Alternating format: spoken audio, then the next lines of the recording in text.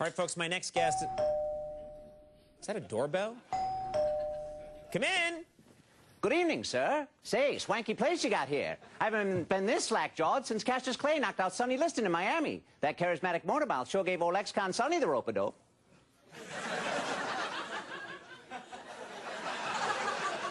Who the hell are you? Are you a traveling salesman? A common assumption given my cheap suit and off-putting personality. But don't worry, I'm just here to report a mad slasher.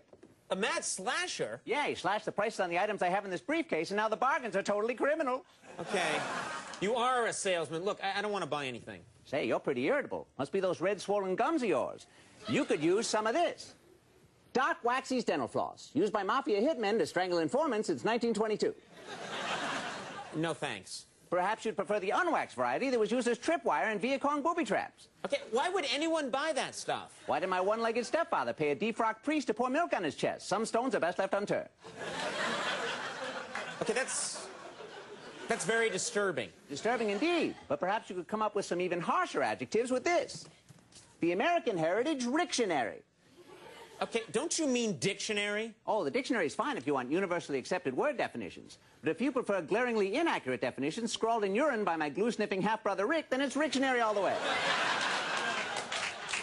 All right, I'll, I'll stick with the dictionary. Say, you're pretty stubborn. And according to Rick, that means you're a large-breasted gargoyle that lives in his oatmeal. Would you just get lost? I'm trying to do a comedy show. Comedy, eh? Must be that new kind where the laughs sound like yawns. You could use some jokes.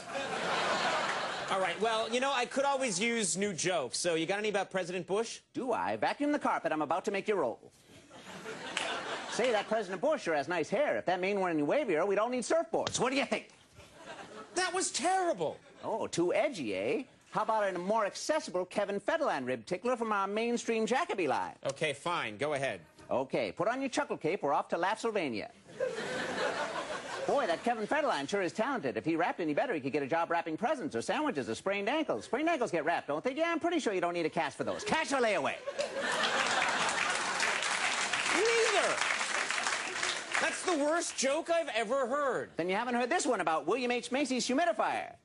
Boy, that William H. Macy sure has a humidifier. Okay, stop it. Well, he has one, I'm told. Don't you have anything I might actually want? How about an SUV? An SUV? Yep, a suicidal, unsociable Viking. Get out of here, Garrett. All right, listen. Get the suicidal Viking out of here. Are you sure? Before he blows his brains out, he can loot an Anglo-Saxon monastery for you. Uh, no. Okay, you drive a hard bargain. I'll give you Doc Waxy's dental floss, the Rictionary, the gut-busting bush joke, the much-imitated Federline knee slapper, the suicidal unsociable Viking, and a three-hour Scandinavian genital stomp for just $12 even. Okay, what the hell is a three-hour Scandinavian genital stomp? We'll show you. Yerrick, I'll take off his pants and you jump on his package. Oh, for God's sake. Let's get it going. No, get out of here. We're taking a break. We'll be right back.